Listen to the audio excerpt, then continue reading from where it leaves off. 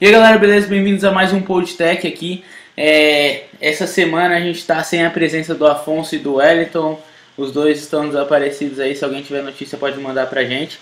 Mas aí em, no lugar dele aí a gente trouxe o Mário hoje. O Mário vai falar um pouquinho dele aí, vai falar quem é ele que surgiu do nada aí.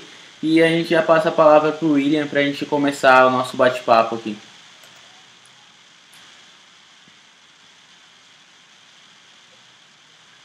É, bom, galera, eu sou o Mário, eu sou programador na agência Pulso. Sou desenvolvedor front-end há um ano profissionalmente na área mesmo e fiquei um ano estudando e fazendo freelance. Eu estou gostando bastante por participar hoje aqui junto com o William e estou animado para fazer a entrevista com ele.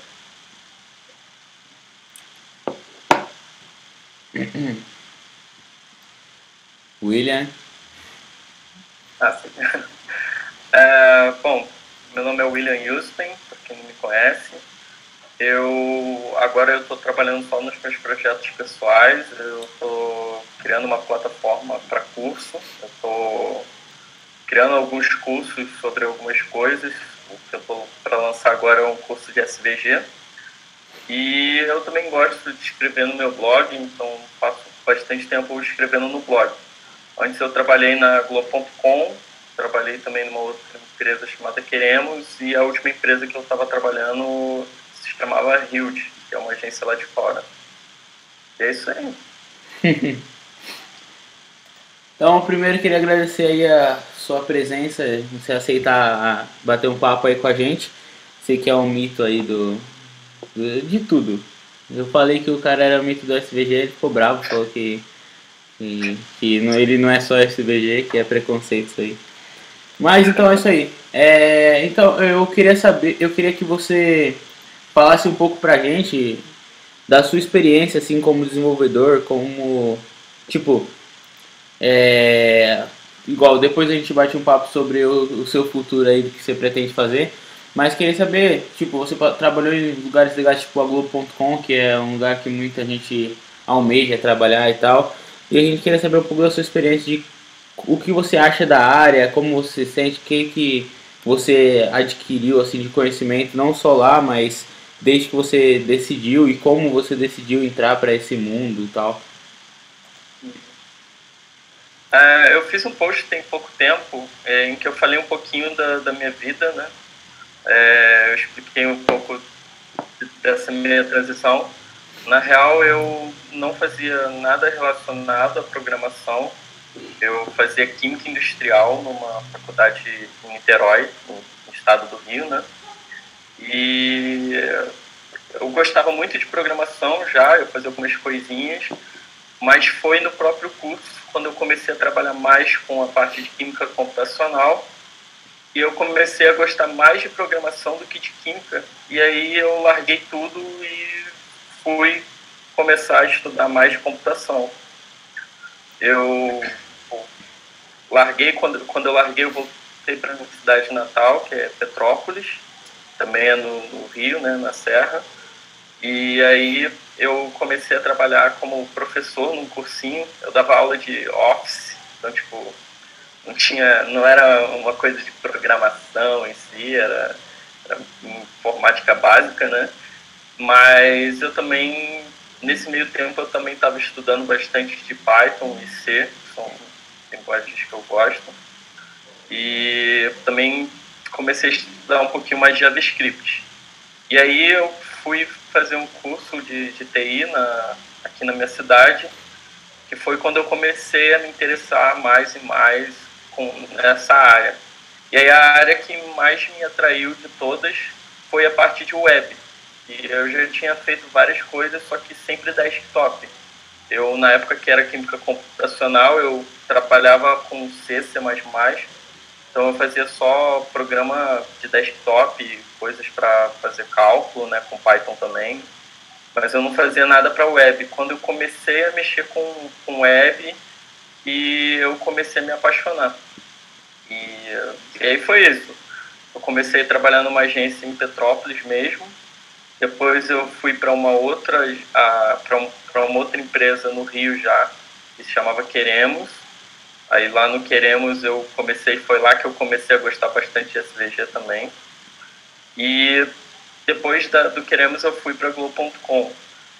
A Globo.com realmente é um lugar que muita gente almeja né, trabalhar e é de fato uma empresa fantástica, tem muita gente inteligente lá, muita gente absurda, sabe muita coisa. E a plataforma, o sistema como todo é, é bem grande, né? Tem que escalar para milhares e milhares de pessoas. Milhares não, né? Milhões de pessoas. Então foi um desafio bem, bem grande. Eu tipo, aprendi bastante coisa nesse tempo que eu passei lá na Globo.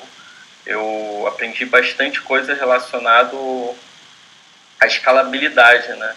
A questão de trabalhar um pouco com performance para sempre fazer uma entrega bem performática, porque cada, cada byte podia impactar milhões e milhões de usuários e isso era bastante preocupante.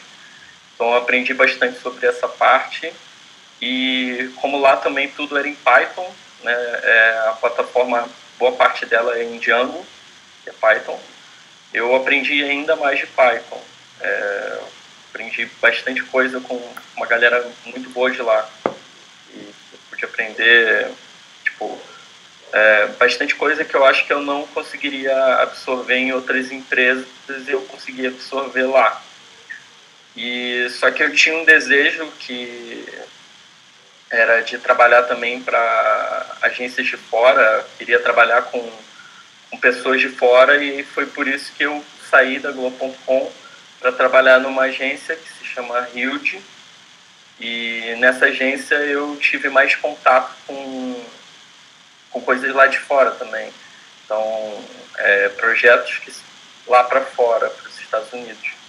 Então também foi uma experiência bastante legal é, de ter trabalhado lá também. E aí agora eu saí, né? Saí de tudo, larguei tudo e tô tocando os meus projetos pessoais, basicamente. É, sem spoilers, é, cara. Meus cursos. Então, eu perguntei isso aí pra você justamente porque eu vi uma lenda aí de você e a química e tal. Mas é isso aí, então. De, de químico a mestre da computação aí, ó. Na história de vida, dá pra fazer um filme já. Mas então, é, voltando um pouco aí nesse, pro, nesse seu processo aí de saída da faculdade, uma coisa que você já estava cursando e tal. Igual você falou, isso eu não sabia que você tinha saído da, da cidade onde você morava, né? Pra ir estudar. E como foi, tipo, você não. Como você teve certeza que era isso que você queria fazer? Não teve medo de largar e se arrepender depois? Tem, às vezes tem muito disso, né? De você, ah, não, eu quero fazer uma coisa, aí você vê que é muito arriscado e acaba desistindo. Mas você não, você viu que era aquilo que você queria e foi para cima. É, mas como foi para você decidir isso? Entendeu? Tipo, ter certeza mesmo. É, eu, eu sou meio maluco, né? Meus amigos falam, eu sou meio maluco. Eu tava no, no último período de química. Basicamente, eu tava para fechar o meu TCC e algumas matérias e eu tava formado. Mas é, é eu realmente eu, eu não me sentia trabalhando no futuro com química eu, eu me sentia mais é, querendo cada vez mais aprender e trabalhar com programação. Então, medo é óbvio que, que eu passei, eu fiquei óbvio que eu pensei, cara, será que eu estou fazendo a coisa certa? Será que, sei lá, daqui a seis meses eu vou me arrepender e, e aí eu vou ter que voltar para a faculdade, eu vou ter que voltar para a cidade? Então foi complicado, não foi uma tarefa muito fácil, foi, foi, foi complicado, mas é, foi, foi muito sentimento, sacou? Foi, foi assim, eu, eu via que eu gostava de programação e, e eu me sentia mais, posso dizer, mais, não produtivo, mas eu, eu me sentia mais útil com programação do que química. É, em química eu conheci uma galera que, que eu vi e falava, pô, essa pessoa nasceu para aquilo, essa pessoa nasceu para para trabalhar com química, o cara eram pessoas fantásticas. E eu eu era mediano, assim, eu sabia, eu até hoje sei química, eu sou formado em técnico em química, é, então eu já Mas na faculdade bastante. então você não chegou a se formar? Não. Você largou não. antes, no último semestre? Larguei. Larguei no último para poder me dedicar à programação. E bom, eu acho que eu não me arrependo. eu, eu, eu consegui bastante coisa com programação já e me sinto realizado na profissão que eu escolhi. Pra gente entender é. assim, você, tipo, esse processo de transição de você largar a química e ir lá trabalhar como professor, até agora foram quantos, quantos anos, assim, quanto tempo? Deve ter. Acho que foi 2000. Deve ter uns 4 anos e meio para 5, mais ou menos. Acho que uns 4 anos e meio, por aí. Caraca. É, é, mas trabalhando, por exemplo, como programador mesmo, aí já tem menos tempo, né? Porque eu fiquei quase uns quase um ano trabalhando só como professor. Não, mas eu tô achando rápido, mano, essa sua evolução assim de químico pá, pra. De químico, programador, pro nível dos projetos que faz agora. É, tipo, se a gente for ver, tipo, que você. Nas empresas que você trabalhou, o o, tipo, é, os projetos que você já fez e tal, as ideias que você tem, o pensamento que você tem hoje, eu achei que você tinha, tipo, sei lá, uns 6, 7 anos pelo menos só com programação, sei lá. Mas aí eu olhei assim, é, é, isso aí, o cara é prodígio. Ô, Mário, faz a pergunta que você queria fazer que eu não deixei. Aquela do, do começo?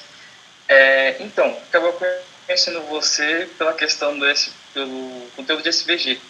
Quando você começou colocar conteúdo de SVG no seu blog, ah, no Brasil não tem tanto.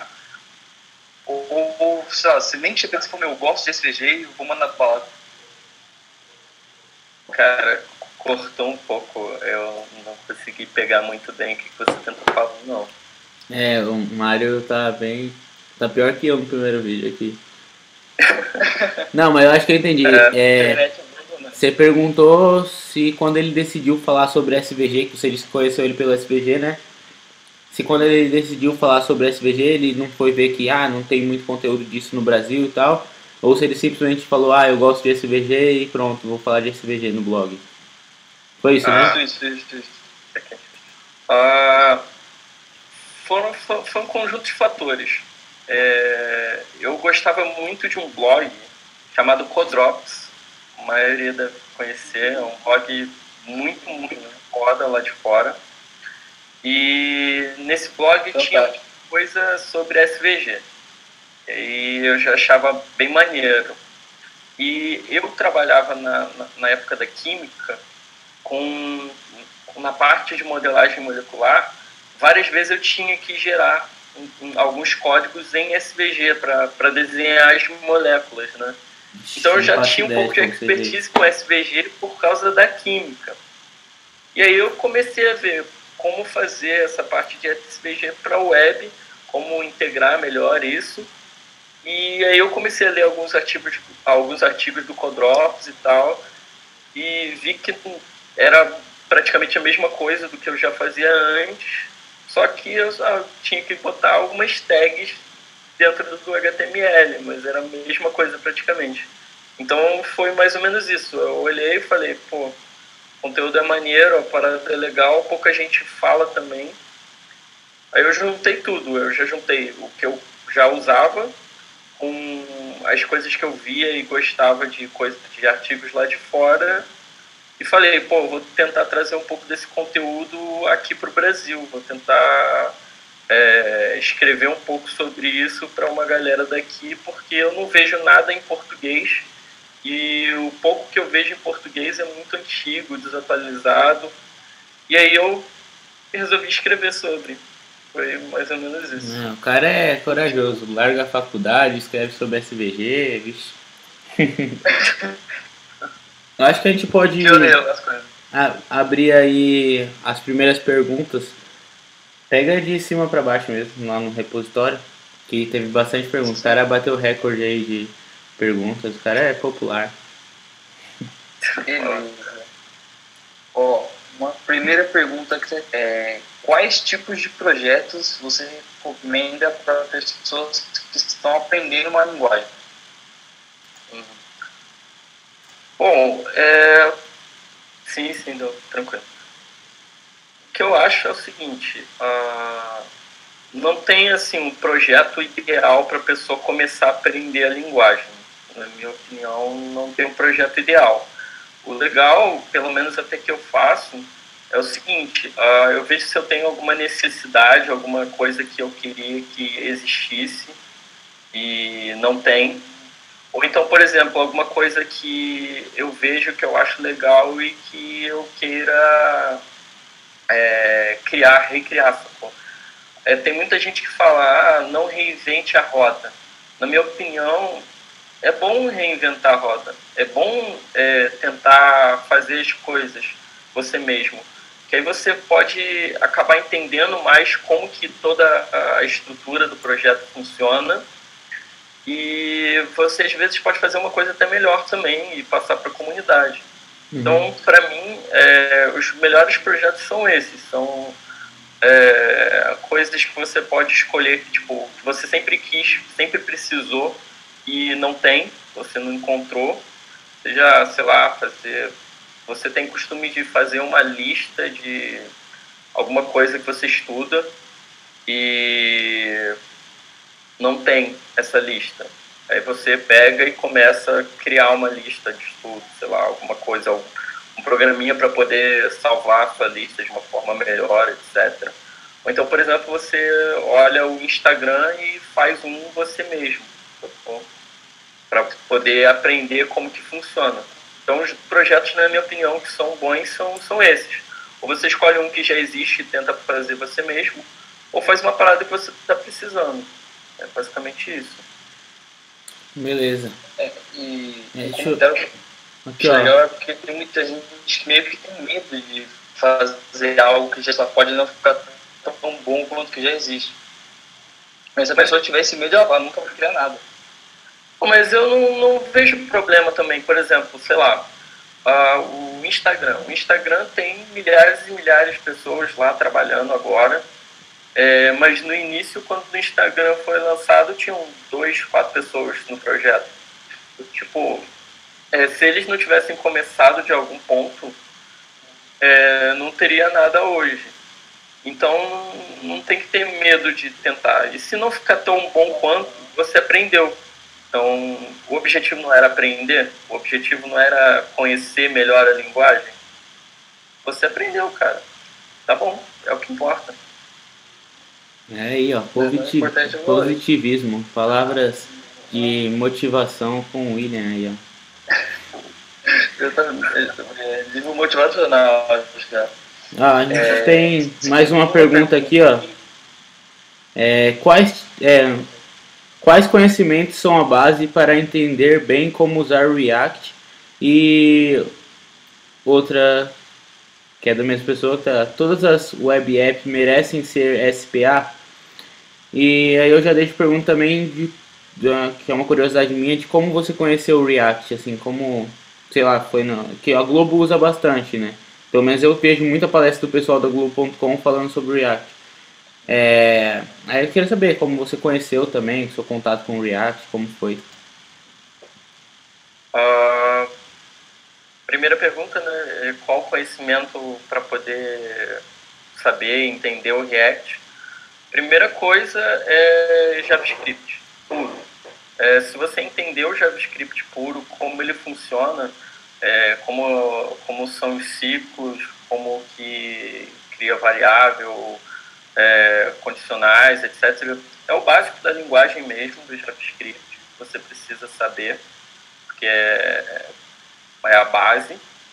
É você ter o design thinking, que é o que eles chamam de componente, é você pensar em componentes quando você for criar a sua aplicação.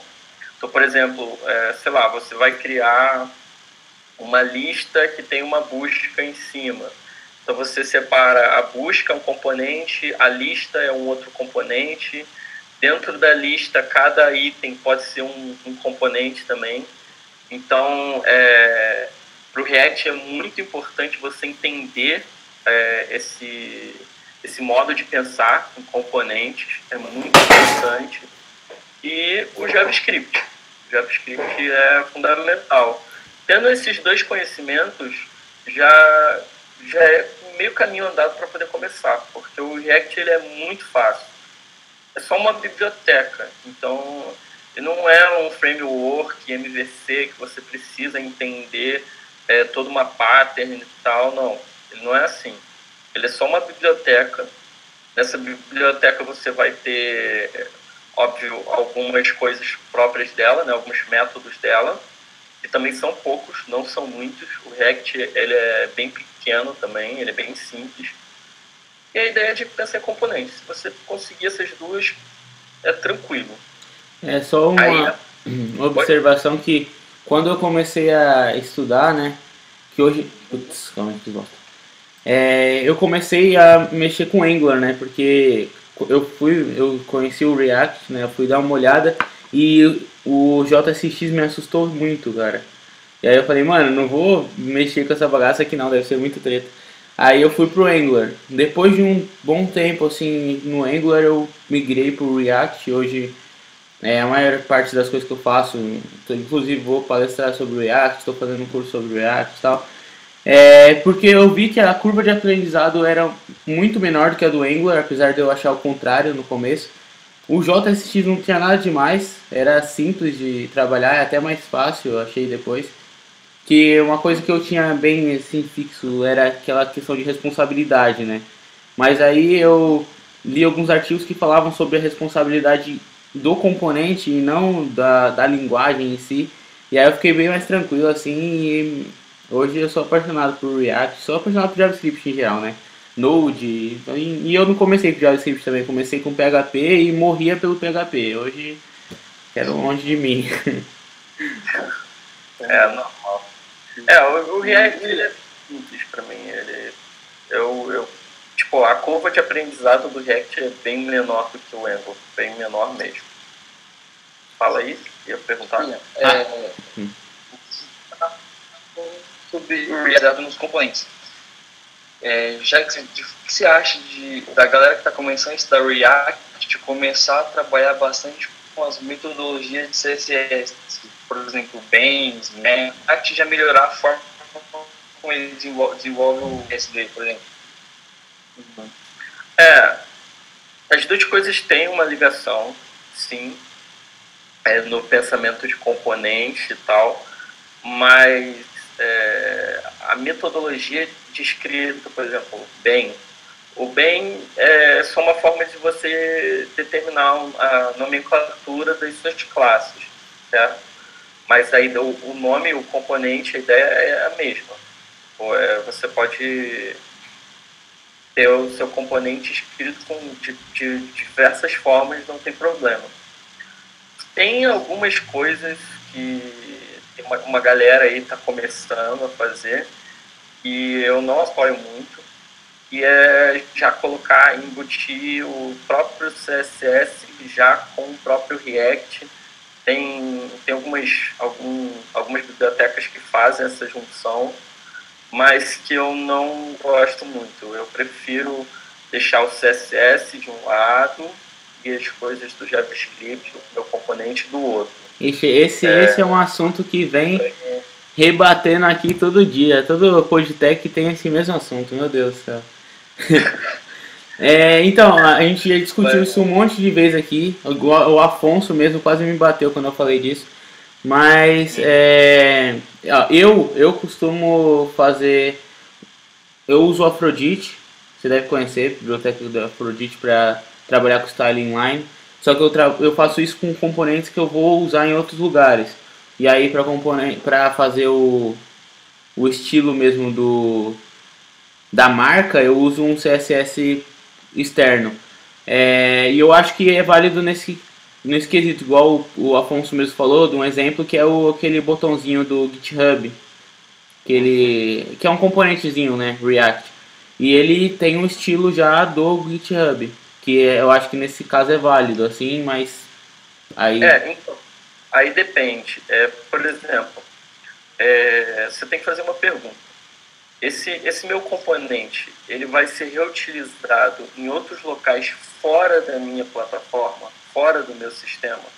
Se a resposta for sim, então você tem que agregar o CSS de alguma forma, porque a sua plataforma é, tem o CSS, mas a outra plataforma que for receber o componente pode não ter. Então é importante que você agregue sim. Agora, se você responder não, é, esse componente vai ser reutilizado, mas sempre na minha plataforma, sempre aqui. Então, nesse, nesse caso, você não precisa usar o Aphrodite, por exemplo, para colocar uhum. o CSS inline. Você pode deixar dentro da sua própria arquitetura de CSS. Sim, é, Porque assim justamente assim, quis mudar também. E aí você pode usar uma arquitetura, no caso do CSS, você pode usar o Wit, o Wit CSS, que tem uma parte que é de componentes é, dentro da pirâmide.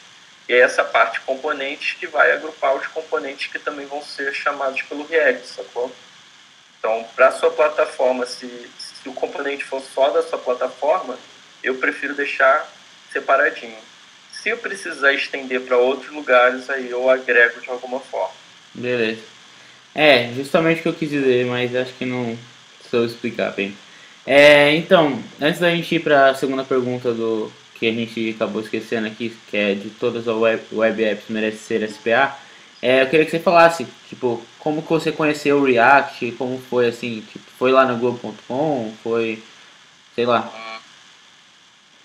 É, eu conheci, eu conheci o React, uh, alguém postou no, em algum grupo que, que eu sigo no Facebook, que já tem um bom tempo, é, falando sobre o React, que o Facebook tinha liberado a, as primeiras versões do, da biblioteca deles de JavaScript e prometia ser a melhor coisa do mundo. Aí eu falei, pô, vou dar uma olhada para ver o que que é, né? Vou, vou ver se, se, se isso é legal.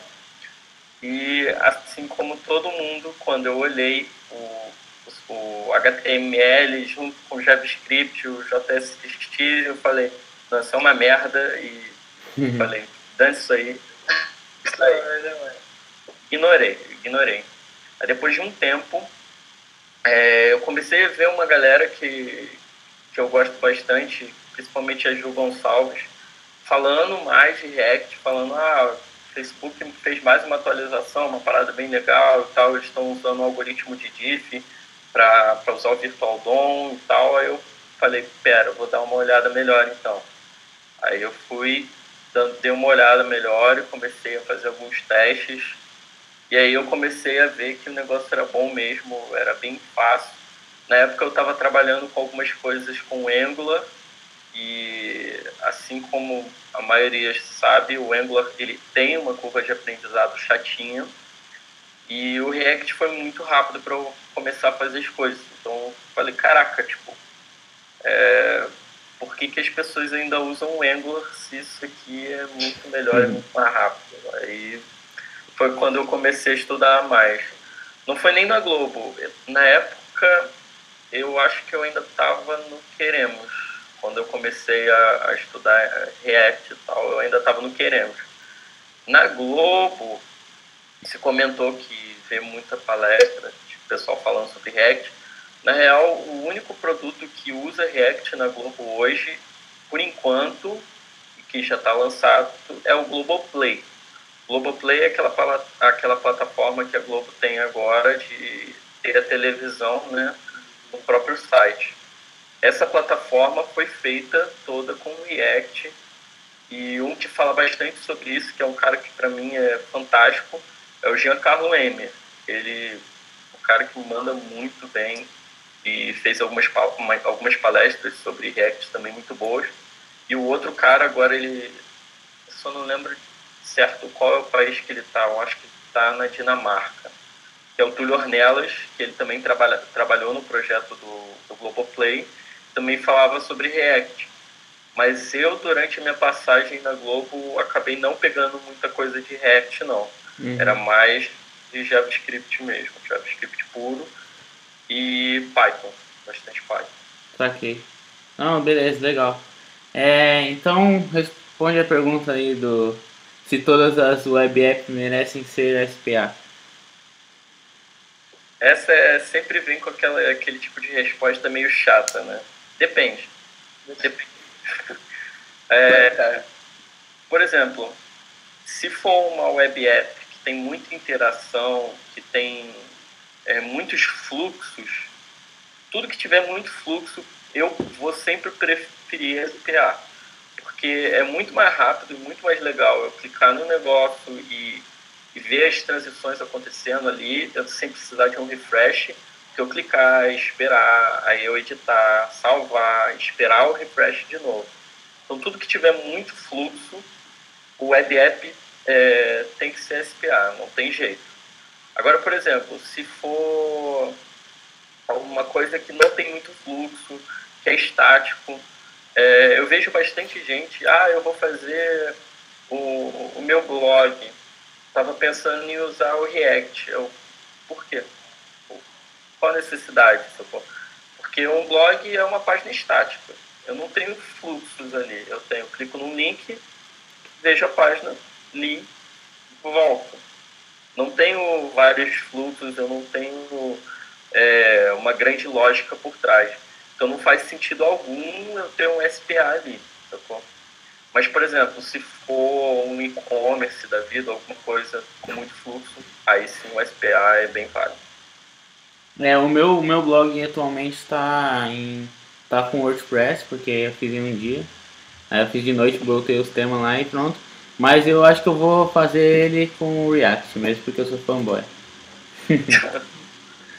é, não é uma preferência muito grande minha, não. Eu prefiro usar React mais para sistemas mesmo. Ah, eu sei, concordo com você. É só porque falo de React todo dia, tem que botar lá. Mas não sei, eu tô pensando em usar aquele esquema. Ou aquele esquema que o, que o Suíça usa no, no blog dele, ou aquele que você falou no. que você fala no seu curso, só que é, eu não sei porque é Ruby, né? Jake ou. Sim, é. É o Jack. É. O Jack é um gerador estático, né? Que é o meu blog é feito em Jekyll.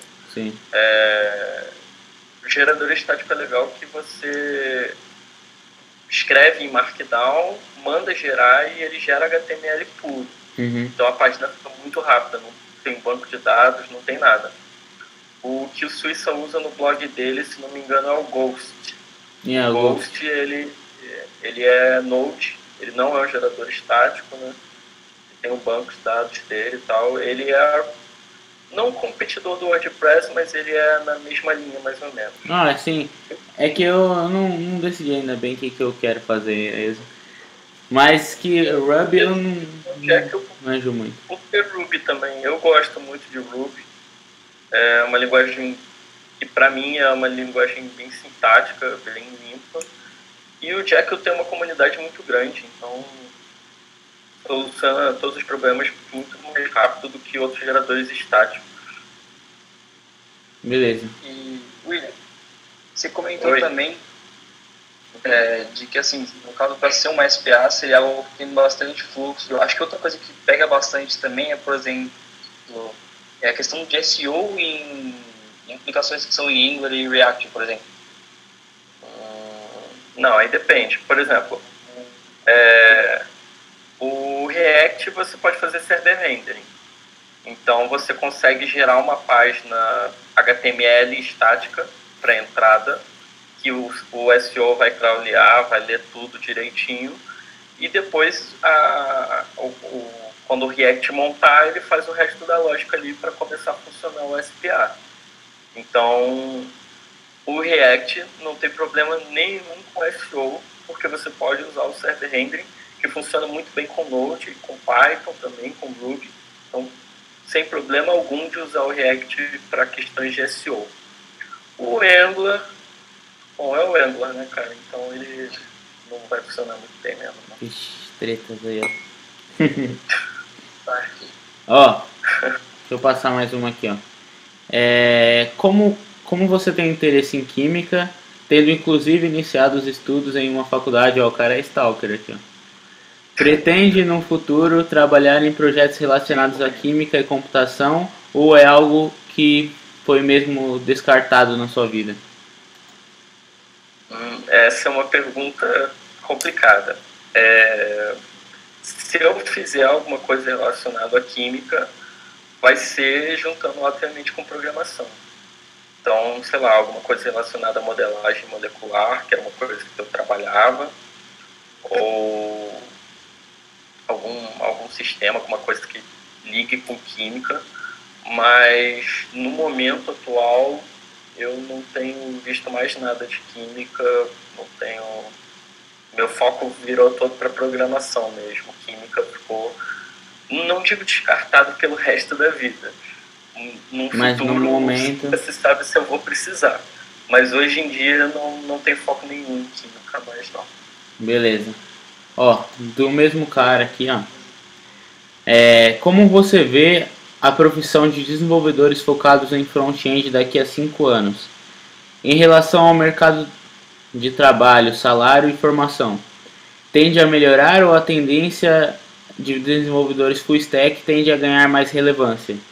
É, outra coisa aqui é quais são as dicas para quem está ingressando nesse ramo de front-end e é isso. Vamos lá, primeira pergunta. Como uh, você vê o mercado daqui a cinco anos? Profissional, é, né? De frente daqui a cinco anos. O front tem mudado muito, bastante. Eu acho que é, ele está começando a amadurecer um pouco. O, o back-end já amadureceu bastante. O front ainda está crescendo, ainda está ganhando um pouco mais de experiência. E Diferente do que a gente tinha antes, que o front era só o cara que cortava PSLD e montava a página, o front está cada vez mais tendendo a utilização do JavaScript para a construção dos sistemas. E o que eu vejo no futuro é basicamente isso. É, o front deixando cada vez mais a parte de montagem de página, é, até mesmo para designers, designer vai começar a montar a página, o designer vai virar o front-end é, de hoje, tipo, de um pouquinho atrás, que é o cara que vai montar o HTML, e o front ele vai começar a ficar cada vez mais focado em sistemas de JavaScript. Então, tanto no front usando os SPAs da vida, quanto no back usando o Node. Então, para mim, o front daqui a uns 5 anos vai ficar mais nisso, mais focado nessa parte de sistemas SPA. Né, é, isso é uma coisa que já está acontecendo, né? É, eu mesmo, quando trabalho como back-end, o que eu mais faço é API, só.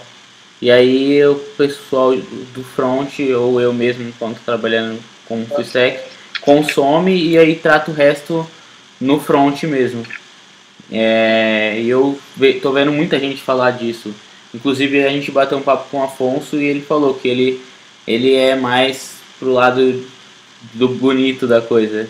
Eu falei já pra ele que como eu vim do back-end eu, eu fico mais nessa parte que eles chamam de engineer, né? William, é, aí a coisa que eu tô vendo bastante. Fala, fala aí. Uma coisa que eu tô vendo bastante agora, porque assim, tá surgindo uma grande quantidade de tecnologias. E a galera tá vendo as novas que estão saindo, estão começando a deixar a base de lado. Então tem muita gente deixa o script aprendendo direto, indo direto Angular indo direto pro React. Você acha que, por exemplo, em 5 anos, pode acontecer que uma galera realmente comece a pular essa base, mexer só com o novo, se resolver algum problema, começando a ter problema grande em cima disso? Olha, é uma coisa que eu falo sempre para todo mundo. Não adianta você é, tentar aprender React, tentar aprender Angular se você não souber a base, que é o JavaScript.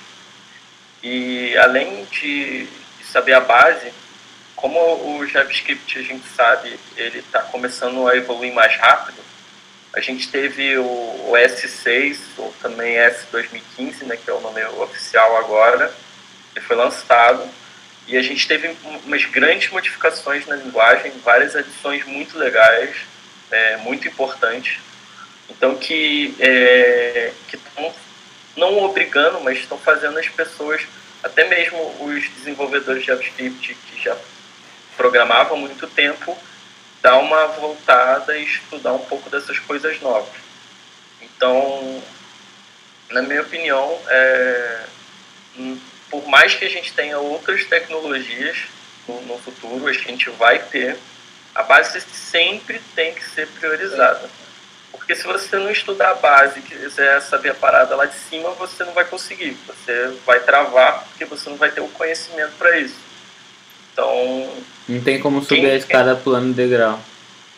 Exatamente. Quem tentar a parte é, direta do React sem saber, é, sem saber JavaScript está fadado a falhar, com certeza. É, eu acho que isso aí já responde a segunda pergunta, né? Que era quais são as dicas para quem está ingressando nesse ramo. É... Aí tem. Então tá, vamos ver aqui. Ah, aqui tem uma pergunta que eu acho que a gente já respondeu, que você já respondeu, que é quais os tipos de aplicações que você vê vantagem de utilizar React, que no caso são a single page, você já explicou, né? É... Ah, tem uma pergunta legal aqui. É, em termos de estrutura, qual você considera a maior dificuldade com React hoje? Talvez a questão de entendimento dos estados. É, eu acho que é a parte mais complexa né, do, do, React. Não que seja difícil, ela é bem simples até, mas que causa bastante dúvida. Bastante gente tem, tem dúvidas na, na questão de entender como os estados precisam funcionar. É, a questão de, de você sempre passar os estados para uma entidade sempre mais alta para ela poder hidratar né, os, é, os filhos e ter essas mudanças de estado. Essa é a parte assim que eu diria mais é, complexa, né? A maior dificuldade no início para quem está começando com, com React é a questão disso. Eu acho que também Como, essa questão do, do, esta, de, do diferença assim do estado do componente e o estado da aplicação também que eu vejo que o pessoal confunde bastante mistura bastante e acaba ficando preso e tem aquela questão do de você mas isso aí eu não sei se é mais organizacional de você utilizar containers e components aí você tem o stateless o stateful essa questão também. É, é tem, aí tem essas questões, aí por exemplo, se você quiser trabalhar com uma arquitetura tipo Flux, né, é, ou usar o Redux, é, e aí a verdade, tem mais uma coisa, é, que pode causar um pouco de confusão até mesmo para quem está começando. Para você meio que iniciar um projeto em React, é, tem várias formas. Você pode trabalhar com JSX, transpilando ele. Você pode usar tudo com S6, você pode escrever como S5 ainda. E em vários lugares é, você sempre vai ver um tutorial ensinando usando uma forma, outro tutorial ensinando de outra forma. É, aí o pessoal ainda tem que aprender é, essa parte de, de transpiler, né? Então o Babel, o Webpack, é, vai sim. usar isso como vai usar. Então, acho que essa é uma outra coisinha do, do ecossistema do, do React. Não é nem React em si, mas que está meio que agregado, que causa dúvidas para as pessoas. É, então, acho outra, que esse, esse ponto é, verdade mesmo. Pessoal. Esse ponto de que o React tem várias sintaxes, né? Você pode trabalhar com função simples, você pode criar uma classe com S6, você pode usar a própria biblioteca com React, Create Class e tal. É, eu acho que é tem esse ponto. É, e, e, outra, tem coisa que você não consegue fazer, dependendo da sintaxe que você está usando, né? Sim, sim, tem, tem alguns detalhes importantes. É... Aí tem outra pergunta aqui que é se você não acha bagunçado a forma como se programa em React, misturando camadas e tal, ou é questão de consumo, não, de costume e uso e prática com a biblioteca. Eu acho que isso aí é aquela questão do da responsabilidade, não é sei. Uh, não, eu, eu, eu entendi isso mais como uma questão de do bagunçado ser, ser a forma de tipo você ter alguns trechos do HTML dentro do JavaScript para montagem do componente, né? É, eu acho que talvez seja isso a, a dúvida dele. Esse aí ficou um pouco complicado de, de entender. Mas é, tem alguns detalhes, né? O, o, React ele não, não é bagunçado. A forma com que ele é, ele é bem simples e ele te dá liberdade. Essa, essa é a questão. É diferente de, de frameworks que te impõem formas de escrita. Uhum. Você tem a view, você tem o controller, você tem a sua model, são coisas bem definidas. O React, por ser uma biblioteca, ele te dá muita liberdade da forma com que você possa escrever. Então, essa liberdade pode ser para o bem, mas também pode ser para o mal. Se você não seguir um padrão na forma de escrita do, do, da sua aplicação, você não criar uma arquitetura boa, você pode acabar realmente criando uma bagunça muito grande. Por exemplo, você pode criar uma aplicação inteira num arquivo só. E vai ficar uma bagunça, vai ficar horrível você não separar isso em outros componentes. Então, é, a, questão, a questão é essa. O React não é bagunçado, você que faz bagunçar. Então, você tem que tomar cuidado com, com a arquitetura que você vai trabalhar e sempre pensar na questão da ideia dos componentes. E aí a ideia de container, a ideia de ter uma de store, por exemplo, se for usar um flux da vida, você tem que é, estudar bem quais vão ser as é, qual vai ser a arquitetura que você vai trabalhar para ter a sua organização, né? para não ter esse problema de, é, de no final ficar bagunçado. Mas eu não acho o React bagunçado, não. As minhas aplicações são bem arrumadinhas. Eu consigo me achar muito bem. É, eu acho que fica bonitinho, fica limpinho. É, eu, eu, eu vi inclusive uma palestra bem legal que ele fala que o React ele não tem mágica como o Angular, por exemplo. Você vê nitidamente o que está acontecendo ali. E aí talvez nesse percurso de você ter que montar o, o fluxo, você pode se perder e causa, virar uma bagunça, sei lá. É, eu, uma, eu tenho uma pergunta para você que é. Você falou de fluxo e você falou de Redux. Redux. É, qual que você costuma utilizar ou você decide de acordo com a aplicação? Você tem uma preferência ou depende do projeto? Uh, 99% das vezes eu vou, vou usar o Redux. Porque ele é muito pequeno, ele é bem simples e é, a forma de se trabalhar com Redux, na minha opinião, é bastante sintática e uma forma bem fácil de se trabalhar. O Flux não é complicado para trabalhar, porque ele é um pouco mais complexo. Ele demanda um entendimento melhor e ele demanda uma organização maior para os seus componentes e para os seus estados, no caso. Então, na maior parte do tempo, eu sempre uso o Redux eu tenho preferência por ele. Mas eu já tive que utilizar o Flux também e não tive problemas, funciona muito bem também. Aí vai mais do gosto, mas se eu pudesse assim aconselhar para quem está começando, eu aconselharia o Redux uhum. e não o Flux.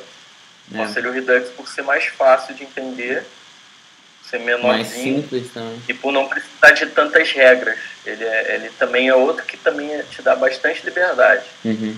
E é diferente do, do Flux, que você tem algumas regras realmente que você tem que seguir. É uma dúvida que eu vejo bem recorrente assim, em relação ao React ou Redux, é a questão da, de consumo de API, por exemplo. Que você tem que realizar ações assíncronas, né?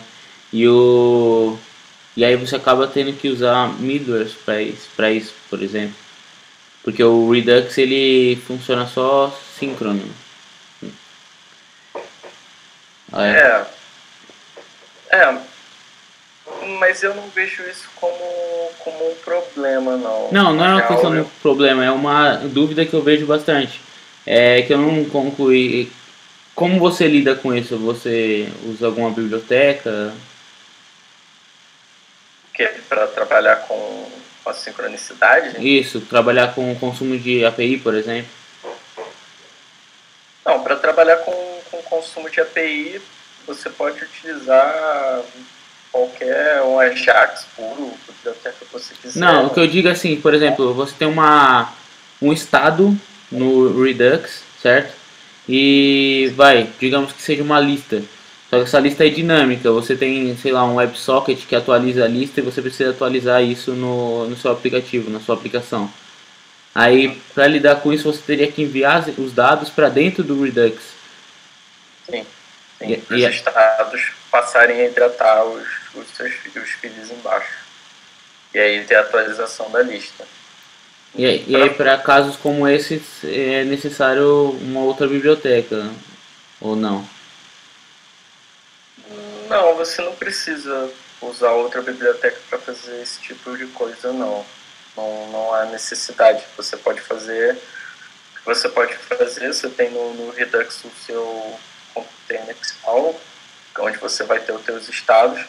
Você muda lá e eles já vão hidratar para os filhos. A sua lista vai passar a atualizar sem problema nenhum. Ah, que a questão é que. Ela tipo... atualiza do pai. É, a galera costuma utilizar aquele é, Redux Tank, eu acho que chama. Né? Ah, tá. Sim, é o Redux Tank. É. O Tank já é, é um, um middleware um pouco mais. Como posso dizer? É,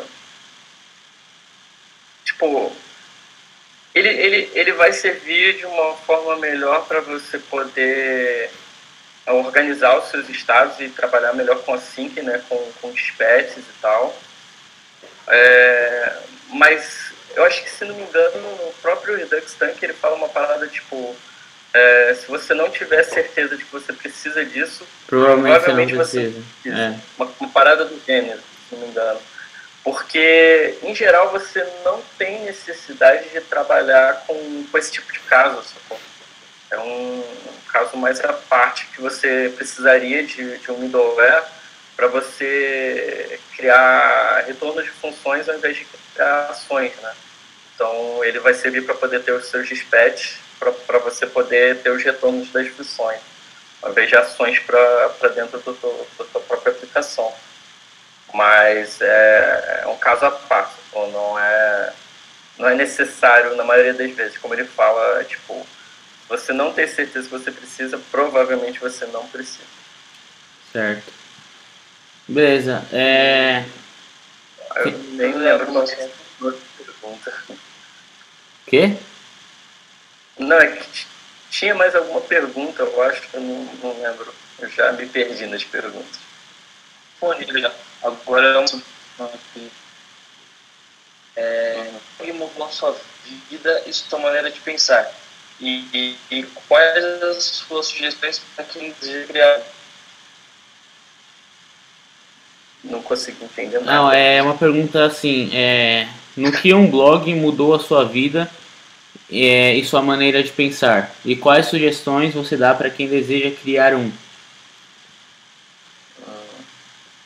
Bom, meu blog mudou muita coisa na minha vida, né? É, eu passei a conhecer mais gente e eu passei a, a, melhorar minha forma de pensar e escrever, de tentar passar o que eu queria realmente falar.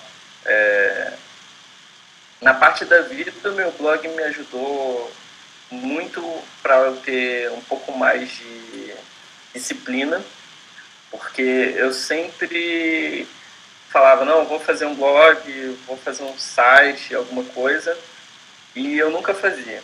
Eu sempre ia deixando para depois, para depois, para depois. E aí chegou um momento que eu falei, não, eu tenho que começar a agir, eu tenho que começar a me mover. E aí eu fiz o meu blog, eu comecei ele, tipo, à tarde, eu falei, eu tenho que terminar até o dia seguinte, criei várias tarefas e comecei a trabalhar.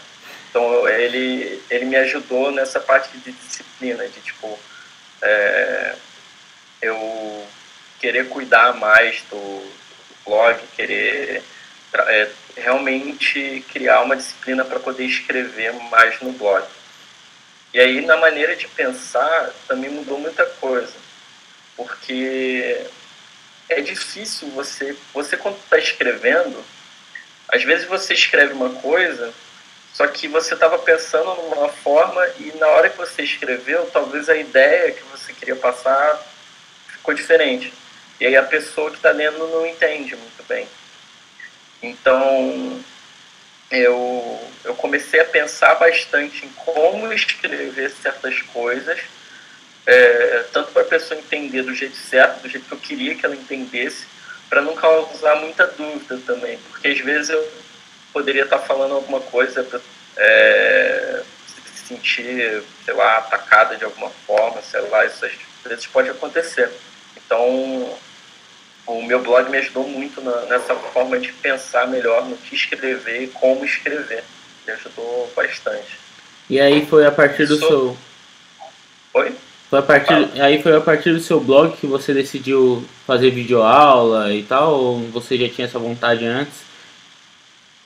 Não, foi a partir do blog também. Tinha, é, eu já dava aula, já tinha dado aula de Office, mas é, eu, eu gostava de dar aula, mas eu não, não pensava em fazer vídeo, esse tipo de coisa.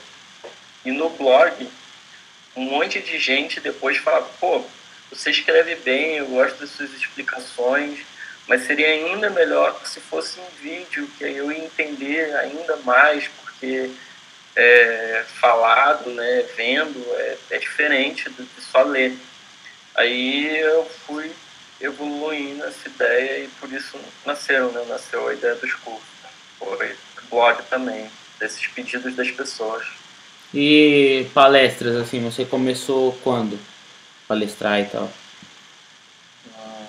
Cara, a minha primeira palestra foi lá na Bahia, foi no Frontin, é, Frontin Bahia, e foi, foi um fato triste o que acontece? É, o Wilson Mendes ele ia fazer uma palestra no evento e só que infelizmente um parente próximo dele faleceu um dia antes do evento e aí ele não, não tinha cabeça para ir no evento, né, para palestrar. E aí ele conversando com, com o Marcos Silva, que também é um, um amigão meu, ele perguntou, pô, é, será que o William topa falar alguma coisa só para para não não ficar um slot vazio de palestrante, não ficar ruim? E como eu estava lá na Bahia, né, eu tinha ido para assistir o evento, não foi para palestrar nem nada. É, eu falei, tá, eu aceito. Tipo, eu nunca tinha palestrado assim em eventos, né, de frontinha, essas coisas. Eu já tinha feito várias apresentações em faculdade, mas palestra, assim, nunca tinha feito, né? Mas falei, é um desafio legal, vamos tentar. E aí foi é, conversando com o Marcos, a gente ficou pensando um pouco que eu poderia palestrar. E ele falou, cara, fala de SVG, você já faz coisa de SVG, você já comenta sobre isso, aproveita e já, já junta tudo aí fala de SVG. E aí foi o que eu fiz. Eu criei uma palestra muito rapidinho sobre é, algumas coisas sobre o SVG, bastante básico, e fui lá palestrar. E foi bem legal, o pessoal gostou bastante, a receptividade foi muito maneira. É, várias pessoas durante o almoço, né, é, vieram conversar comigo falando, pô, gostei muito da tua palestra, eu não te conhecia, é, achei bastante legal, você fala muito bem, você fala com propriedade, parece que você entende bastante do assunto. E aí eu gostei tanto que aí depois disso eu fui, eu submeti palestra para alguns lugares, outros lugares me chamaram também para palestrar. E foi, foi indo. Foi, foi assim que aconteceu. Legal. É, eu, minha primeira palestra, mano, eu tinha, sei lá, acho que 15, 16 anos. E eu tava tremendo, você é louco. Fui falar de PHP ainda. É... Ah, eu também tava muito nervoso, tava tremendo bastante. Não, mas você, você tem que arrumar um negócio rapidão. No evento que tinha uma pessoa que muito.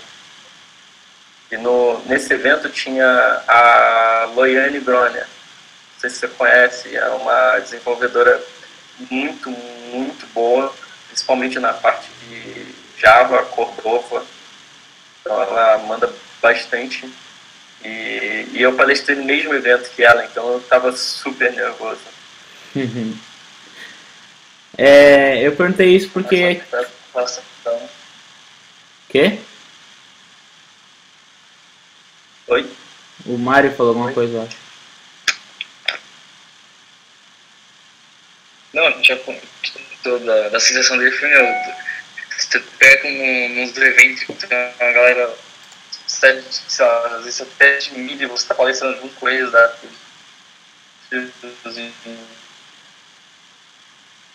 Tá cortando? É, o Mário, o Mário tá no Acre. Ó, aqui ó, eu perguntei isso porque a pergunta que eu tenho aqui é, tipo, na sua opinião, por que é importante participar de eventos e ser um palestrante? Essa pergunta eu acho bem legal. É, eu fiz inclusive um post sobre isso. Acho que o post é por que vale, é, vale a pena ir a eventos. Na minha opinião, é, todo desenvolvedor tinha que ir o máximo possível que desse nos eventos. Por quê? Porque você não está indo lá só pelas palestras.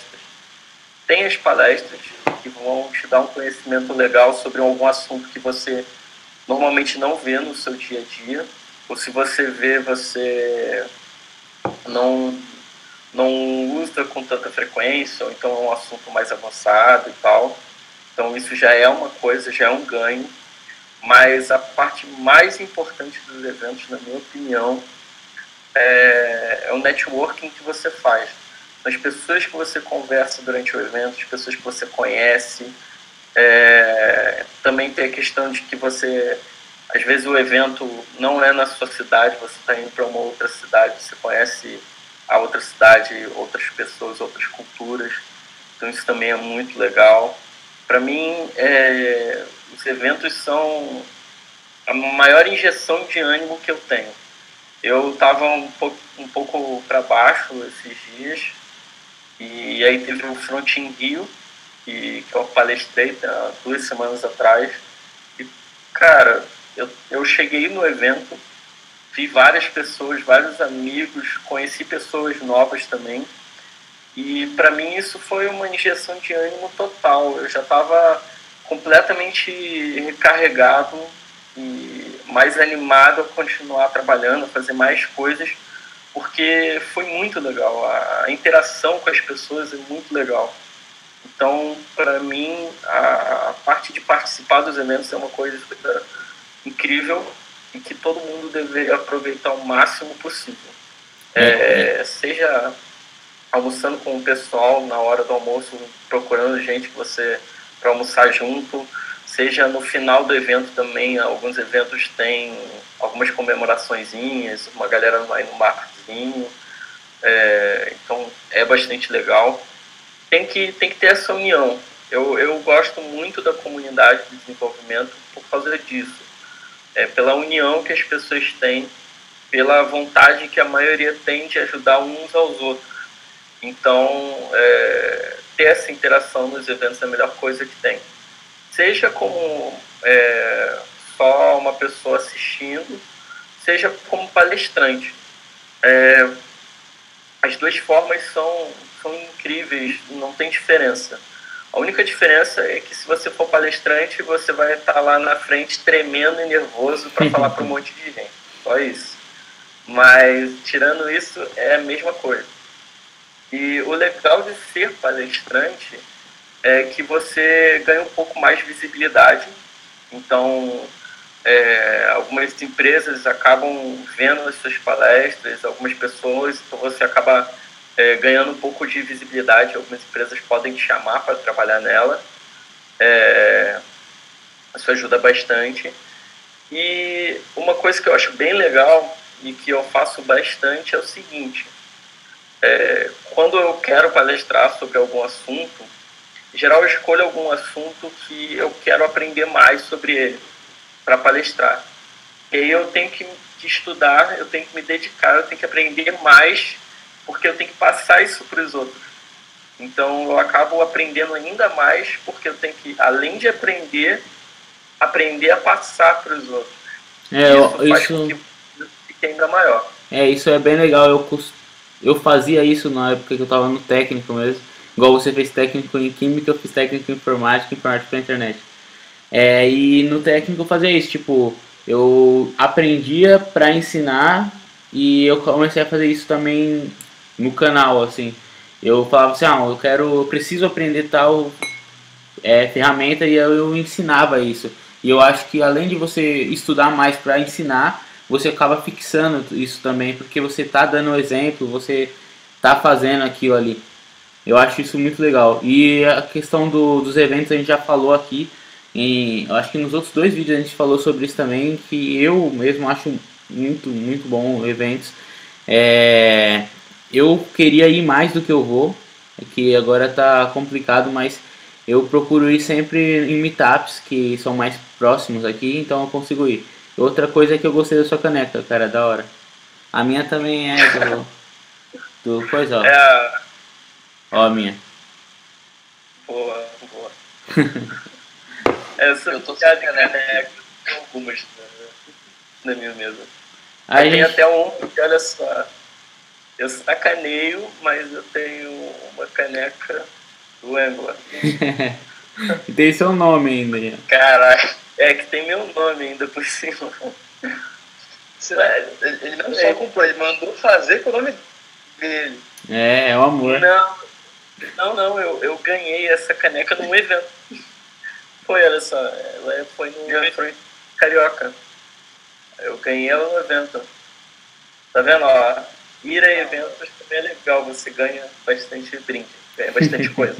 Então também é bem maneiro. É, a gente tem três últimas perguntas aqui da galera. Você foi o recordista de pergunta, é pergunta que não acaba mais aqui. É, então a gente chegou no, nas três últimas aqui. Uhum. É, uma é. Eu, eu acho que. Oi? Eu acho que essa pergunta aqui é melhor deixar por último, para fechar. Tá. Então vou perguntar primeiro essa aqui, ó. É, qual é o seu fluxo de aprendizagem quando quer aprender uma, no, uma tecnologia nova? Eu acho que talvez seja isso que você acabou de falar, de, de resolver falar sobre isso, não sei. É, isso é uma das coisas. É tipo, eu quero aprender alguma coisa nova, então eu vou é, escolher uma palestra, um post do blog para poder estudar, para poder saber mais. Então, isso é uma das primeiras coisas. Tanto que no meu blog tem alguns posts que eu falo, ah, eu estou escrevendo esse post porque eu queria aprender mais da tecnologia. É bastante disso. A outra coisa é, que eu uso, é, eu crio projetinhos simples, coisas pequenas, ou assisto alguma videoaula de alguma coisa, de algum assunto, e aí eu crio algum projetinho pequenininho, sei lá, fazer um to da vida, fazer um crude, alguma coisa bobinha, mas só para eu ir aprendendo mais da linguagem e vendo os erros que, que ela tem. É, descobrindo, né? Só com as dificuldades na prática mesmo que eu acabo aprendendo as coisas. Então, eu sempre faço isso. Eu sempre crio algum projetinho de alguma coisa e escrevo no blog para poder firmar esse conhecimento. É, legal. É, você falou que você vê videoaula ou deve ler artigos também. E eu queria saber como, qual a sua opinião é, sobre isso na comunidade brasileira? Você acha que precisa amadurecer mais? Falta artigo? Falta gente falando sobre o assunto? Porque tem muita gente boa que às vezes não passa o conhecimento para frente, ou você acha que não tem isso? É, em relação a, ao inglês, a quantidade de artigos que a gente tem em português é muito menor.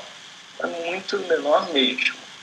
Mas eu tenho visto uma galera começando a escrever.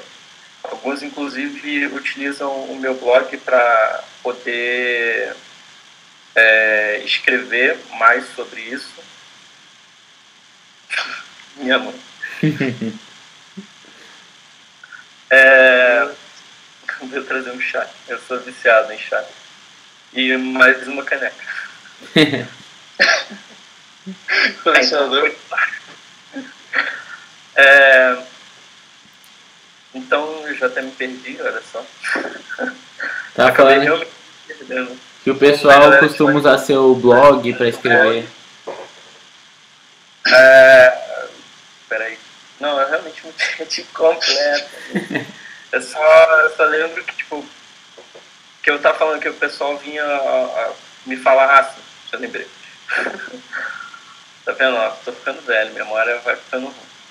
Não, o que acontece é isso, tipo, acho que é mal de programador, mas é, deve ser mal de programador.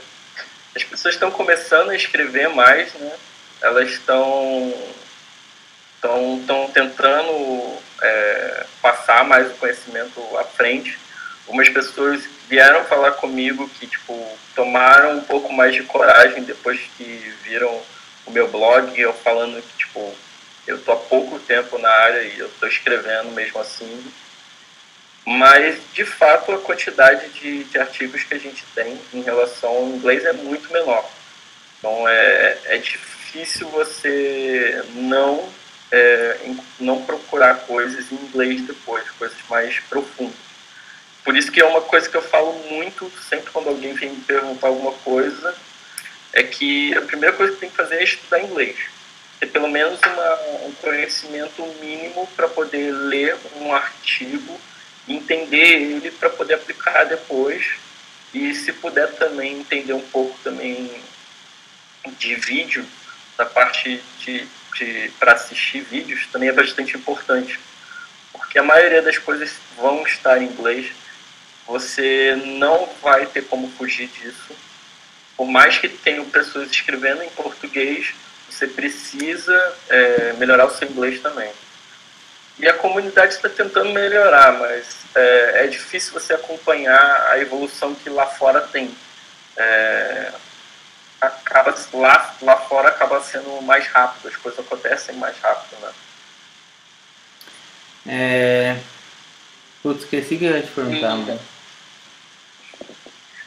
Tá vendo? Esse é o problema de memória aí. É, mano, tem que comprar mais RAM pra mim. Você comentou de que quando você quer abrir uma coisa, às vezes você pega e vai rolando uns projetinhos na sua cabeça e tal. E é legal também, sei lá, a galera pegar, ver coisas assim e tentar recriar, porque tem muita gente que fica naquilo, naquilo mesmo, vai naquilo que ela acha que tá dando certo e fica naquilo. Meu, tem que tentar fazer, mas se der errado, uma hora vai funcionar. Isso. É, não pode ter medo, né? É, você não precisa se preocupar, você não está sendo julgado por nada, você não tem uma arma na cabeça falando, ó, oh, se não funcionar vai morrer. Não tem isso. Uhum. Você não tem, você não precisa ter esse, esse medo, sacou? É uma coisa que eu sempre falo para todo mundo. É, não tenha medo. O máximo que pode acontecer é você falhar. E se você falhar, você tenta de novo. Não tem, não tem problema. Você só aprende errando. É. E eu dizer que a maioria das coisas que eu realmente aprendi foi errando e errando muito. Mas errando muito mesmo. é, quando eu comecei a, a, mexer com Python, nossa, eu, eu não conseguia nem instalar o ambiente. Até hoje eu tenho problemas com o ambiente. é, quer um pacote de um lado, aí eu não sei se eu tenho que limpar alguma coisa. E aí eu eu acabei acostumando e aprendendo os erros que eu tinha. E agora você olha um erro, opa, já sei o que, que é. E aí já resolvo rapidinho. Então, é, você sempre vai aprender com o erro. O erro vai ser a primeira coisa a acontecer para você começar a ter sucesso. Você não vai ter sucesso sem falhas. Então, se você não errar, você também não vai ter sucesso. Então, é não ter medo de errar. Legal. É, eu lembrei que eu ia te perguntar. É que você falou de, do blog e tal. E quando você resolveu a começar com um blog, você já estava na área há quanto tempo, assim? Foi logo que você entrou ou você esperou um tempo ainda? Como você decidiu também escrever o blog? Ah, eu não saberia dizer assim o, a quantidade de tempo que eu já estava na área. Eu já estava trabalhando com web, uh, o tempo, não sei, eu acho que um ano mais ou menos um pouco menos de um ano, talvez, que eu comecei a escrever. E foi, foi, mais, foi muita insistência de um amigo, que é o Guilherme Louro, é, que eu falo que ele é o meu tutor, meu mestre, o cara manda muito. E toda vez ele falava, cara, cria um site, bota lá, nem que seja só as suas redes sociais, bota, faz alguma coisa, cria um sitezinho com, com teu nome porque eu nunca tinha feito freela e na época eu estava muito curioso. Eu queria muito fazer freela, só que eu não tinha ideia de como, onde que eu vou arrumar um cliente. Vou bater de porta em porta, vou na padaria. Mas você está precisando de um site para sua padaria? Não, não tinha isso. Então eu não sabia como que eu ia conseguir um cliente é, para poder fazer freela. E aí ele falava, cara, a melhor forma é você botar o teu nome é, em algum lugar, para as pessoas conseguirem te achar. Porque se as pessoas não, te acharem, não vai adiantar de nada. E ele falava, cria um site, cria um site, cria um site. E aí foi o que eu pensei, cara, um site, eu vou botar o quê? Eu tenho muita coisa para colocar. Na época eu, eu não tinha realmente muita coisa. Então eu falei, vou criar um blog e aí, enquanto eu vou aprendendo, eu vou escrevendo. E aí eu escrevo o que eu aprendo. Ou eu escrevo o que eu já aprendi há pouco tempo. E aí foi isso. Eu falei, ah, vou criar um blog, e eu criei o blog e comecei a, a escrever. Na época eu estava aprendendo a usar o Jekyll, e foi até a, o que eu usei para poder criar o meu próprio blog. E aí eu falei, pô, agora que eu aprendi a usar o eu vou falar sobre o Jack. E aí os meus primeiros posts foram sobre o Jack. Depois foram alguns posts não tão técnicos, né? Porque eu não, não tinha assim, uma bagagem tão grande. E aí eu fui aprendendo e fui falando. Foi, foi mais ou menos assim. É, eu preciso tomar vergonha e escrever, mano. Eu só fico... É só, é só começar e continuar. Esse é o mais difícil de o blog é você continuar escrevendo. É, por isso muita gente que cria já é um passo difícil, bem difícil, mas aí para. Então, a, o, o, importante é você começar, ter o seu start, mas continuar, não parar. Tudo bem que você não precisa escrever um post por dia. Você pode escrever um post por mês, não tem problema. Mas tenta escrever. Uhum. A minha dificuldade com o blog é que eu não sei quando eu devo fazer vídeo e quando eu devo escrever. Eu não sei separar quando eu falo aqui e quando eu falo lá, entendeu? Porque eu já comecei com um canal direto. Uhum. É... é. Eu, eu como. Eu não, eu não sou um cara que gosta muito de vídeo. Eu sou muito tímido. É, eu fui melhorando com o tempo. Mas até mesmo com foto, eu odiava foto, vídeo, então o blog era a melhor forma. Nada de mostrar minha cara, de começar a falar, ia ser muito mais difícil. É por isso que eu só escrevi. Mas você que tem facilidade de fazer vídeo, aí fica mais fácil. Ah, então, vamos ver como vai ficar. É, vamos para a penúltima pergunta aqui, ó.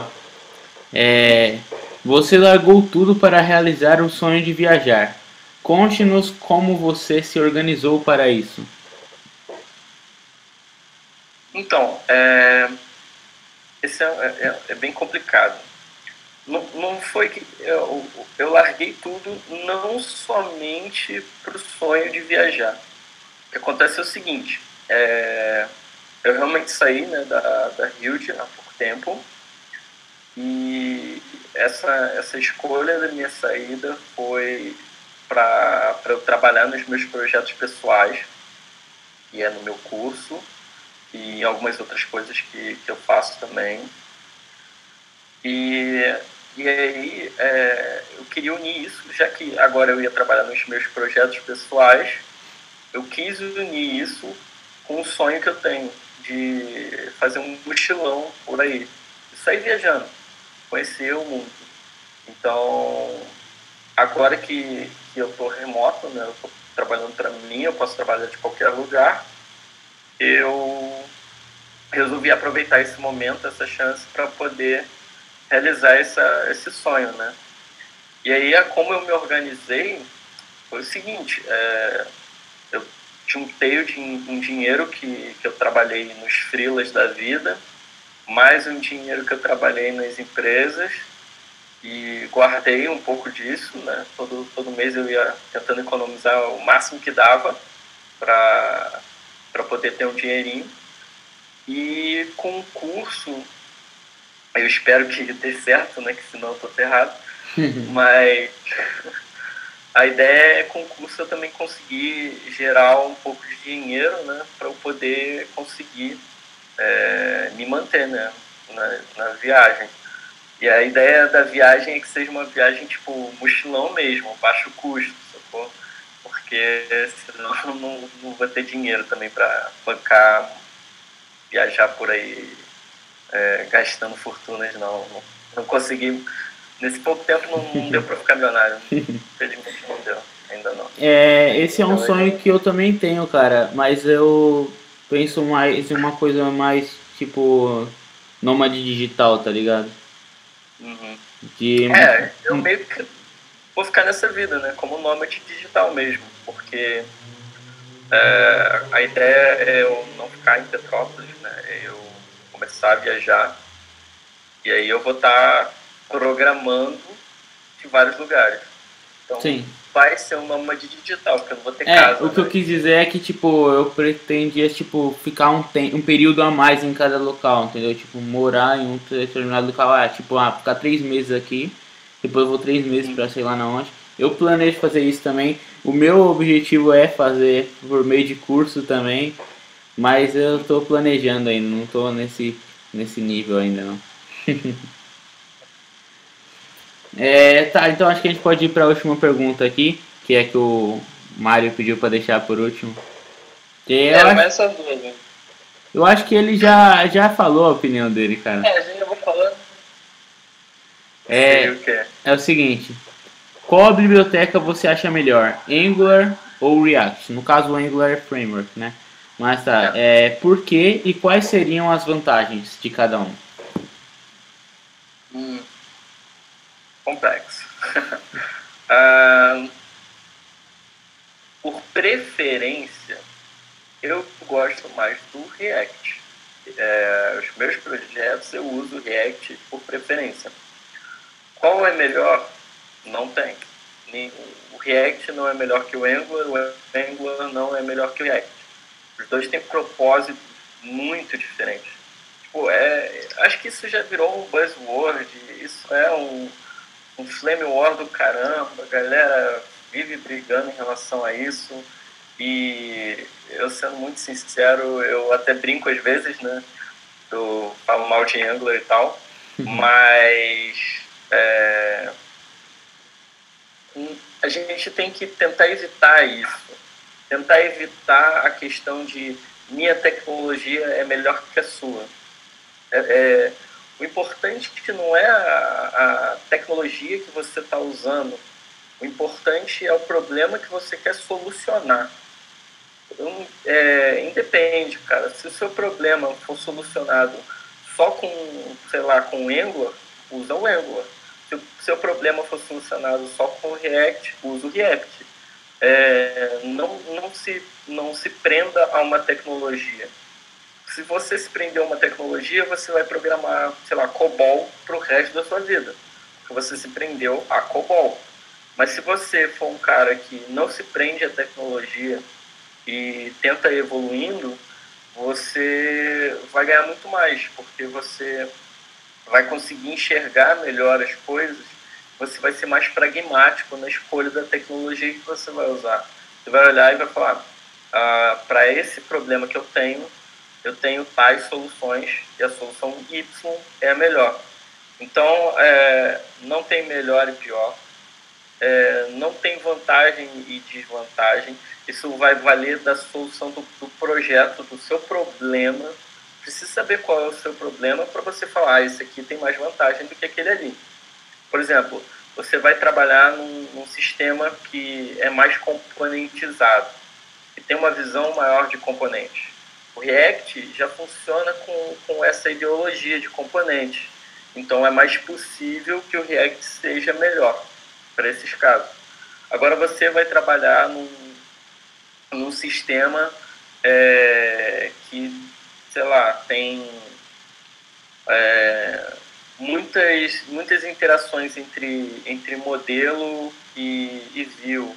Você tem um two-way data binding muito grande ali, você precisa ficar atualizando muita coisa na tela, de repente, sei lá, precisa de alguma coisa. Talvez o Angular vá ser melhor, porque a arquitetura, todo mundo já, já trabalha com MVC, então vai ser uma adaptação mais fácil.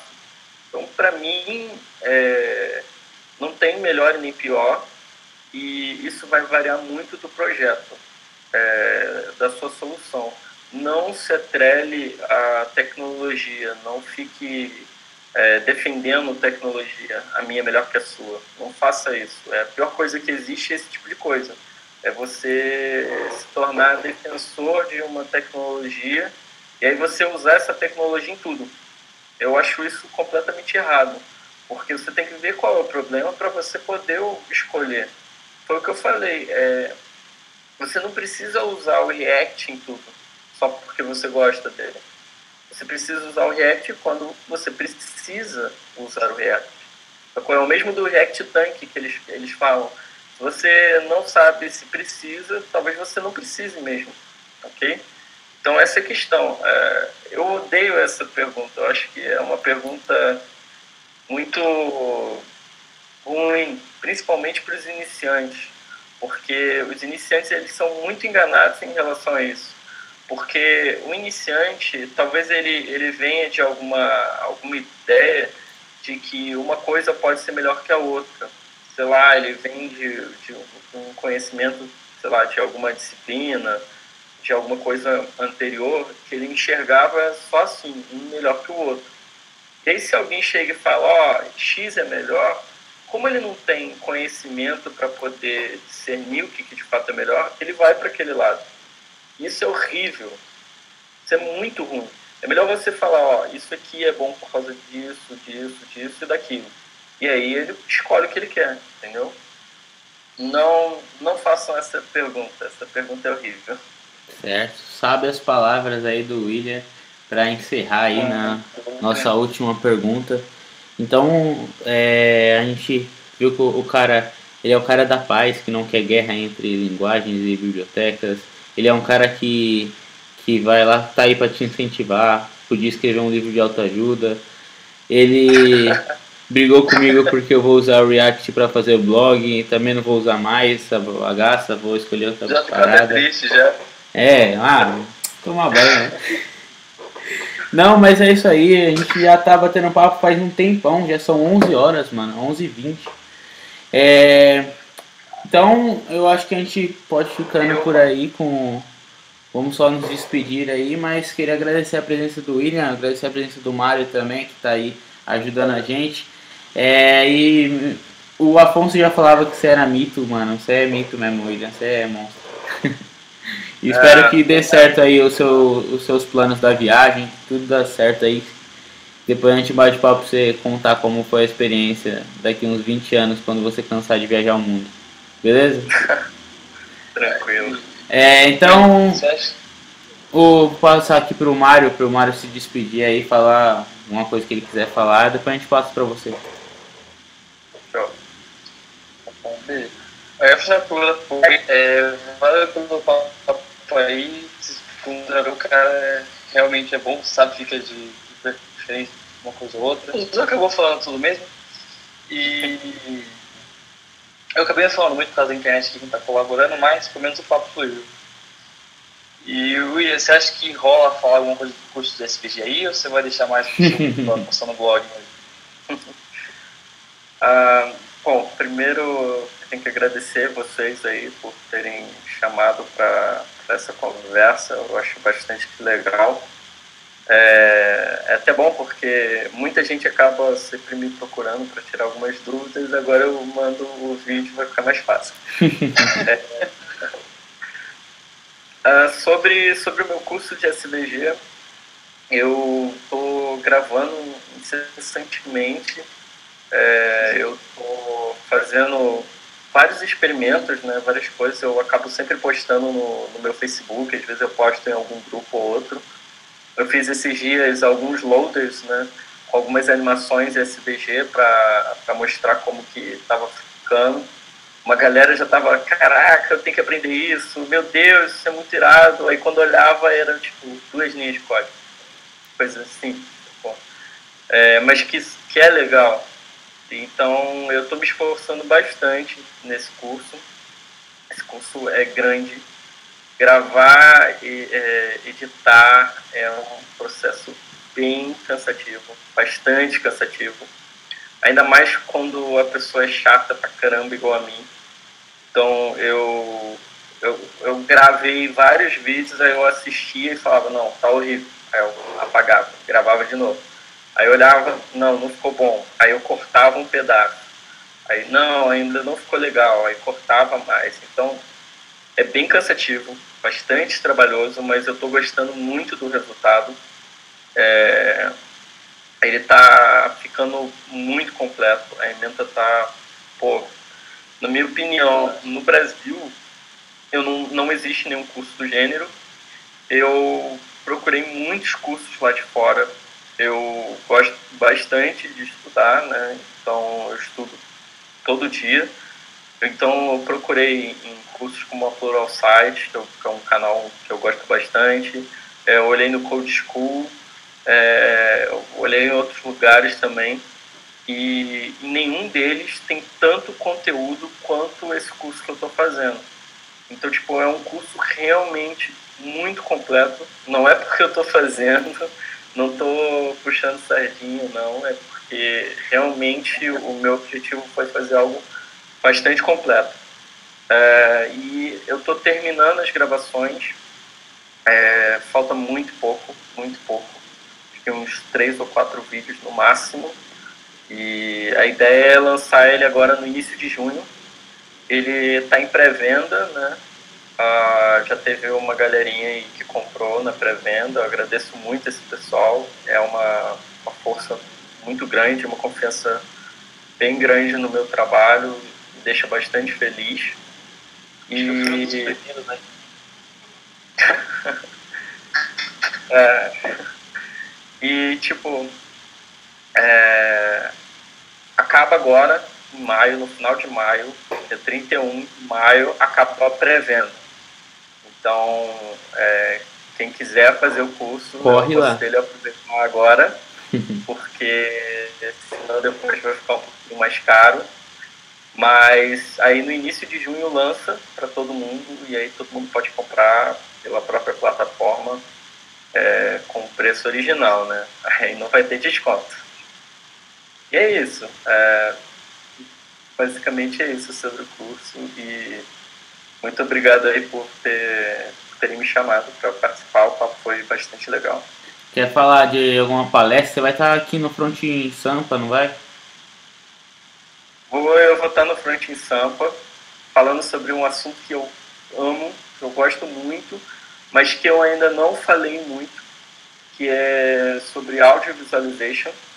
É, o nome da minha palestra é JS Loves Music, é, JavaScript ama música, né? É, e a ideia da palestra é mostrar como você utilizar JavaScript para poder criar interfaces e animações é, com música. É uma parada que eu acho muito legal. Eu sou viciado em música. quem, quem lê os posts do meu blog sabe, eu sempre estou ouvindo música e eu sempre coloco lá uma playlist, alguma coisa que eu estou escutando. Então, poder juntar uma paixão que eu tenho muito grande, que é música, com outra paixão que eu tenho, que é programar, é, é muito legal. Então, eu, eu acho que vai, vai ser uma palestra bastante maneira. E aí eu também vou estar no Meetup de CSS, também em São Paulo, que acho que vai acontecer dois dias antes. E eu também vou estar no Code in the Dark, que é, que é um projeto também muito louco, e eu não sei se eu vou participar ou se eu vou só assistir, uhum. porque o projeto é maluco pra caramba. E a ideia é do, de você criar toda uma interface sem você olhar a tela. Você só faz o código e no final de tudo você olha a tela e vê se ficou legal. A ideia é bem maneira, o pessoal está desafiando todo mundo aí, um ao outro está falando, não, a minha tela é sinistra, eu nem olho para a tela porque eu sei uhum. que o código já está perfeito, a tela vai estar tá linda. Eu não sei, eu ainda confesso que eu olho bastante para a tela, eu trabalho com live reload, um do lado, código de um lado, tela do outro. Então não sei se eu me garanto. Inspection ali para dar aquela força? Sim, sim. Mas vamos ver, talvez eu até participe também. Fazer umas telas loucas lá. Eu acho que eu vou no Code in the Dark também. É, você sabe até quando você vai ficar aqui em São Paulo ou não? Cara, eu vou no dia 29 de junho, que é um dia depois do meu aniversário. E eu devo voltar dia 5 ou 6 de julho.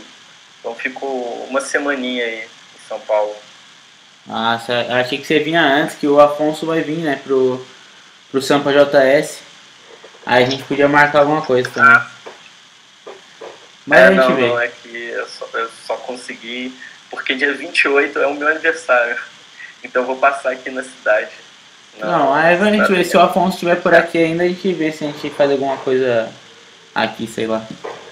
Mas é isso aí, mano. Valeu pela sua presença aí. Acho que é isso aí. É, não tem nem o que falar. Você é monstro. Obrigado mesmo pela presença. E eu vou reconsiderar, tá? Não vou fazer com React, não. Vou escolher uma ferramenta adequada, igual o nosso professor William ensinou, tá? então é isso aí. Espero que vocês tenham gostado. Vou ficando por aqui. Queria agradecer a todo mundo que colaborou com as perguntas. É, fica mais legal assim, porque a gente consegue mesmo saber quais são as dúvidas de vocês. E bateu o recorde aí de perguntas, o William. E é isso aí, espero que vocês continuem colaborando aí, não é só porque o cara é famosão não. Então eu vou ficando por aqui, espero que vocês tenham gostado do vídeo, do text, do projeto. E é isso aí. Fui!